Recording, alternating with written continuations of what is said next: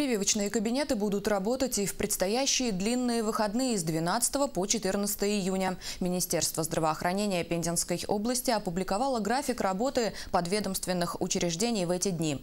Скорую, а также специализированную помощь в стационарах окажут в полном объеме. Поликлиники, в том числе детские и межрайонные больницы, в понедельник станут действовать по расписанию субботнего дня. А вот в выходные открытыми останутся кабинеты неотложной медицинской помощи. Пациентам будет доступна выписка лекарственных средств и листков нетрудоспособности. Также врачи прибудут по вызову на дом по звонкам, принятым контакт-центром или регистратурой с 8.00 до 14.00.